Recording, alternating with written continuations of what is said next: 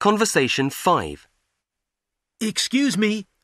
Where can I find a taxi, please? A taxi? Um, the taxis park in the main square. Go straight on, just follow this street, and the main square is at the end of the street. Is it a long way? No, it's only two minutes. Oh, good. Thank you.